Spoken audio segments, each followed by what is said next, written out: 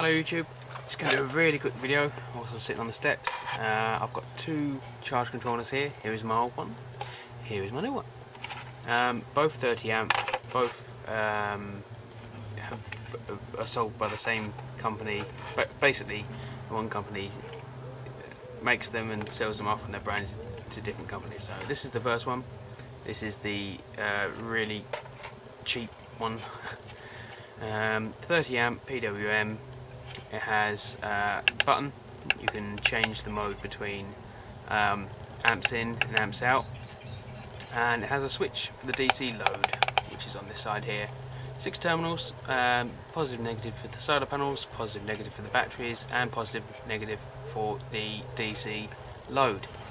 Um, six mil terminals so not much you can put in there. And uh, it does it does what it says but it's cheap well, both of these are cheap, but this is the the basic model. Um, so I'm just gonna grab something else quickly. This is the the the next model up. Um, Solar 30, so same principle as the one before. We have 30 amp PWM, uh, 30 amp.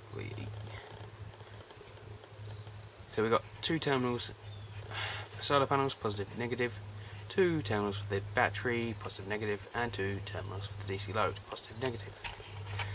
Uh, this time it's got 16 mil terminals, so you can fit a 16 mil cable in as opposed to a 6 mil.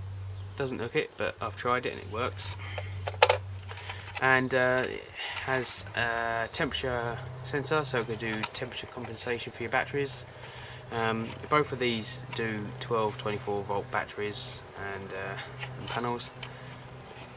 Lots more lots more settings to explore. We, we have uh, total amps in total amps out. Um, we can explore a whole new world with this as opposed to just the amps in amps out. This records the amps uh, power in power out. So we're, we're going to explore this when we get it up. Um, just waiting uh, got the good weather now, I've just got to do a few more things, I've got to put my batteries back up and then we can um, really um, see how much power we're producing.